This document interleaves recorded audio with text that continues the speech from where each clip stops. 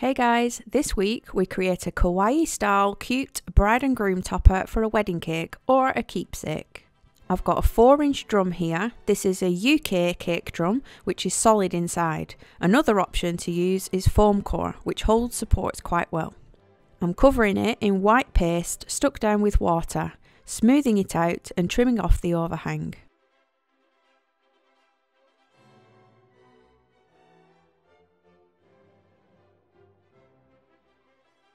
I'm edging the board in ribbon. The one I use is 15mm wide. I find it covers the drum and a layer of sugar paste quite well. Just attach this with either double-sided tape or a glue stick.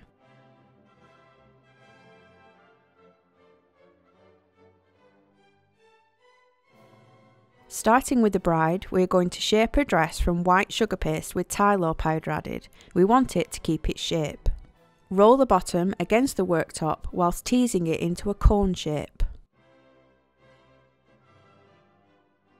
With your hand or fingers, tease the base out at one side for a small dress train.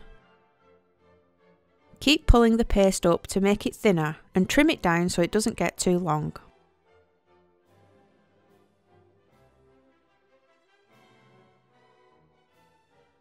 With your thumb and middle finger, pinch in a waist, turning it as you go. Trim off the top so it leaves a slightly wider chest part above the waist.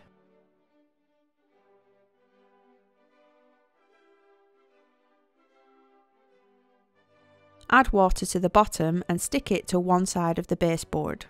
Dampen a cocktail stick and slide it off centre down the dress. You want to keep the centre clear for the head support. Trim the stick down and leave a small part showing.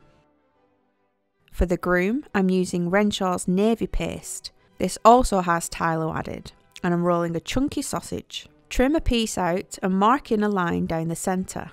Don't cut all the way through.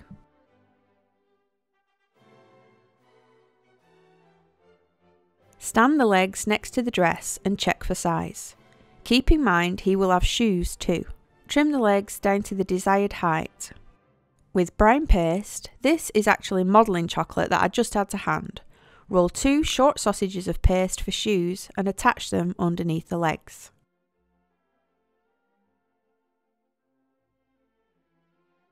Stand them next to the dress and insert a cocktail stick down, again keeping it to one side and leaving the centre clear. To keep him more secure, gently tap the cocktail stick down into the drum if it will go. Trim this roughly to the size of his torso. Now don't worry, you haven't missed a step. This is just to show the head size. Choose a polystyrene ball a little smaller than you want the finished head. Then take some flesh paste. Usually I use a ball the same size for ease, but I don't want the head too big. Instead, for this one, I'm using a smaller ball of paste, but it is a tad trickier to cover. Just tease it up gently to prevent ripping. If you find it difficult, just use a smaller ball and the same size of paste. Once you get to the top, roll it tightly in your palm to get rid of the creases and joins. Insert a cocktail stick into the centre and then make another one and set them aside for later. For the groom's shirt, roll a sausage of white, also with Tylo powder added, and trim it to size. Squeeze the top slightly so it makes it thinner. Slide this down the stick onto the legs. Make sure you've given the legs enough time to firm up a bit, or you might make them a bit shorter than you'd originally planned. I've watered down some black paint so it's a wash of grey. Paint a V on the front and colour the remainder in. Also the shape of a tie on the top. With a deeper grey and a thinner brush, outline the waistcoat, buttons and the tie.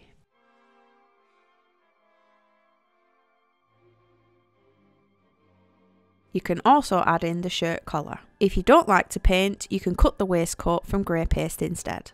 With the navy paste, roll it out and cut out a rectangle that tapers in slightly at the top. Dampen the body and wrap it around, securing the top close to the body.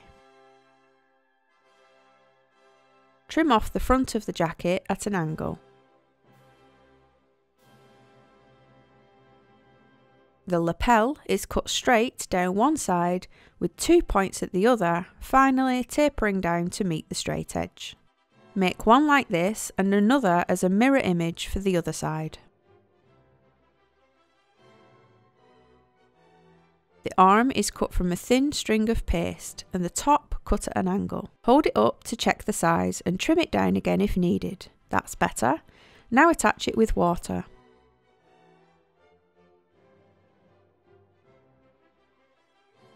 Add in one on the other side, leaning it ever so slightly away from the body. Take a small ball of flesh, flatten it and attach it to the bottom of the arm with water.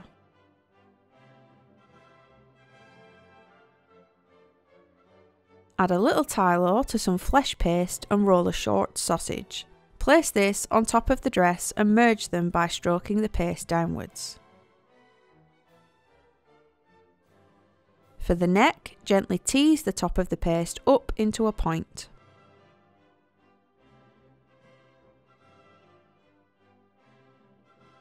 Her arm is a thin sausage with one end flattened out and then rolled thinner underneath it for a wrist.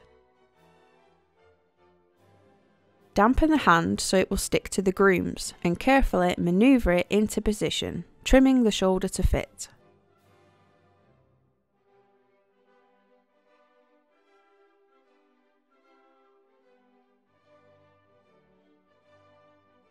The other arm is made in the same way but tilted the hand upwards.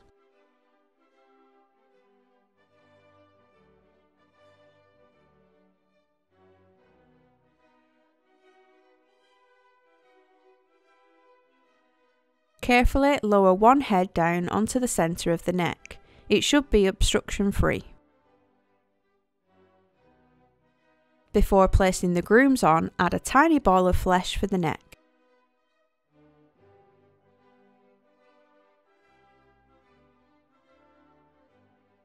Hair is cut from brown paste using a circle cutter a few sizes larger than the head. Wrap the circle around the back, butting the circle up to the base of the head. Gather the sides around and tease the excess to the top, which can then be trimmed off with scissors. With a Dresden tool, mark in some hair detail to remove the harsh circle line.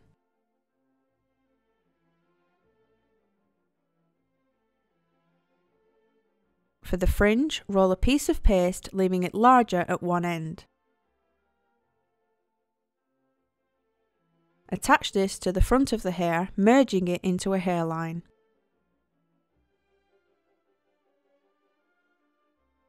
If it becomes too big, give him a haircut.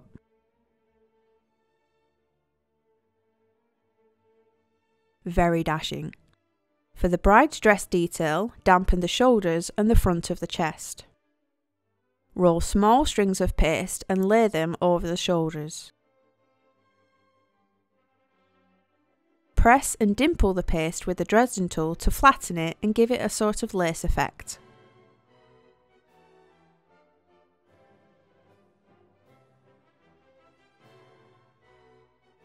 Add smaller pieces, heavy on the chest and then phase them out as you go down the dress.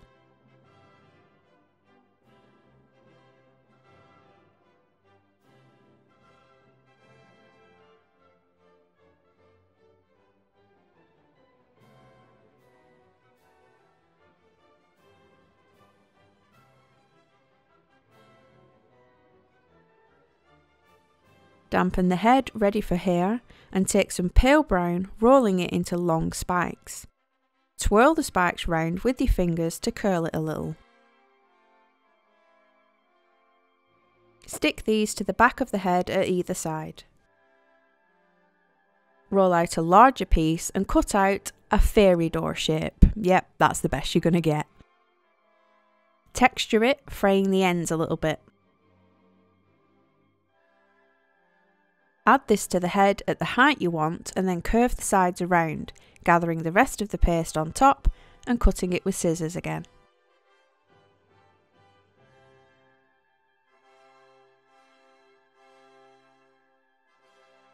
With a sausage of paste, flatten one edge of it thinner and place it across the hairline.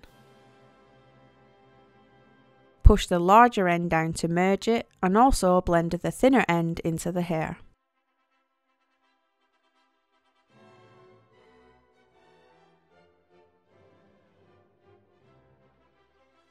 Roll your Dresden tool across the top of the hump to create texture all over.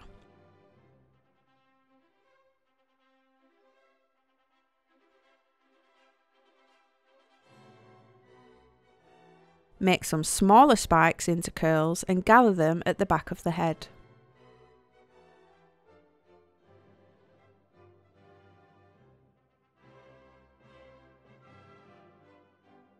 Cover the join with a thin sausage of paste and texture that at an angle.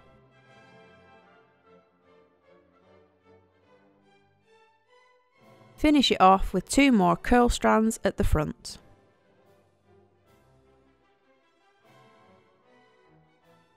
with some rainbow dust metallic black paint and a thin paintbrush, paint on a little smile.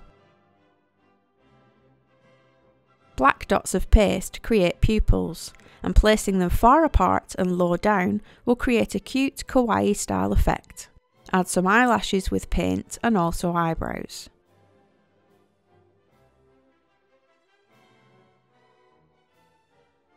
Watered down red gel for the bride's lips works well. Dip a small ball tool into some white paint for dotting on catch